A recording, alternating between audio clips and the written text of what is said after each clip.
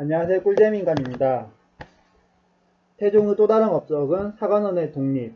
사관원의 독립은 언간제도를 따로 분리하는 걸 말합니다. 언간이 뭐냐면 임금님께 직원하는 사람입니다. 언간들은 왕과 신하들의 잘잘못을 비판하면서 정의로운 사회를 만들고자 했습니다. 하지만 태종은 고려의 핵심기구였던 문화부를 없애고 사관원을 따로 독립시킵니다.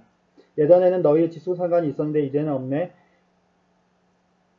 이 조선 땅에 너희 위에 누구밖에 없는 것 같아. 바로 전하입니다. 그렇다면 너희가 누구를 비판해야 하는지도 잘 알겠네? 압니다. 저희가 의지할 분은 오직 전하뿐이옵니다. 결국 말 많고 피곤한 이들을 자기 사람으로 만들어버린 겁니다.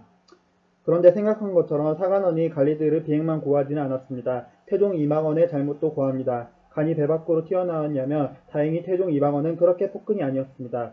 사관원이 직원을 신기를 불편케 해도 웬만하면 들어주거나 그게 아니면 유배를 보낸 후 다시 복지시켰습니다. 상황이 이렇게 되자 당시 관원들은 용기를 내서 직원을 한후 감옥살이를 하다가 풀려나거나 유배를 다녀온 걸 영광으로 여겼습니다. 마차 별 하나 단 것으로 생각한 겁니다. 결국 무시무시한 절대 권력 앞에서 직원을 서슴치 않는 관리들을 주변에 포진시킨 왕이 바로 태종 이방원이었다는 겁니다.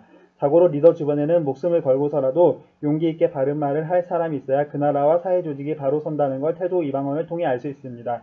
이 또한 우리 우리들이 배워야 할 점입니다.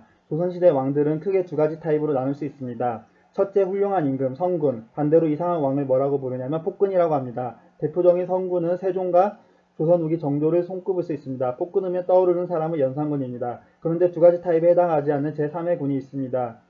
그게 바로 태종 이방원, 태조 수양대군, 영조 같은 인물입니다. 일례로 영조는 왕이 되기 위해 정말 피바람을 쓰나미처럼 일으킵니다. 그것만 본다면 그야말로 강폭한 폭군입니다. 그런데 막상 왕위에 오른 뒤에는 예민정신으로 나라일과 백성을 보살핍니다. 결국 성군도 아니지만 그렇다고 아닌 제3의 군인 겁니다. 태종의 또 다른 업적은 거북선을 제작했습니다. 임금이 임진도를 지나다가 거북선과 외선이 서로 싸우는 상황을 구경하였다. 태종이 밖으로 나왔다가 거북이 모양의 배가 적선지가 싸우는 모습을 봅니다. 여기서 알 수 있는 사실이 있지요. 거북선이 고려 말이나 태종 때부터 존재했구나. 그러다 발전을 거듭해 완성시켜 제대로 사용한 사람이 이순신 장군이구나.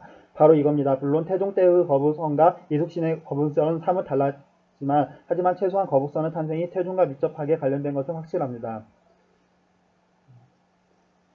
태종의 또 다른 업적은 선입파동. 선입파동이 뭐냐면 살아있는 왕이 후계자에게 양해하는 겁니다. 어느 날 태종이 갑자기 폭탄선을 합니다.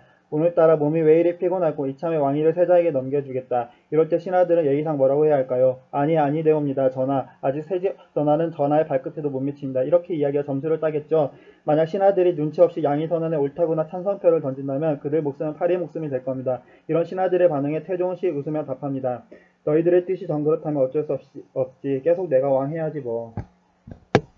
선입파동도 태종의 정치적 면모를 드러내는 거라고 봐야 할까요? 다른 왕들은 선입파동을 하지 않았나요? 태종만 선입파동 효과적으로 쓴 건 아니고 선입파동은 사실 조선의 왕들이 신하들을 압박하는데 자주 쓰던 카드였습니다. 특히 제일 많이 쓴 사람은 조선의 21대 임금 영조랍니다. 선입파동은 이른바 왕이 신하들을 간보는 것과 같습니다. 신하들의 충성심을 시험하는 겁니다. 자신의 선의 의지를 끝까지 막는 신하를 요직에 앉히고 찬성하는 자는 죽이거나 유배를 보내버렸습니다. 이런 행동을 왕위 중에 선언을 하는 겁니다. 나중에 태종이 진심으로 셋째 아들은 충년대군에게 양해하고 싶어 합니다. 하지만 이때 역시 신하들은 전하 왜또 맘에도 없는 쇼를 하시나요? 라며 반대합니다. 아니 이번엔 진짜라니까 아무리 진짜라고 말해도 그 어떤 신하도 이 말을 믿을 리 없습니다. 거짓말을 해도 너무 많이 해왔습니다. 결국 태종은 충녕대군에게 즉위식 옷을 입히며 억지로 양해를 합니다. 이로써 제4대 임금 태종이 탄생합니다. 오늘도 재밌게 보셨다면 구독과 좋아요 부탁드리겠습니다. 감사합니다.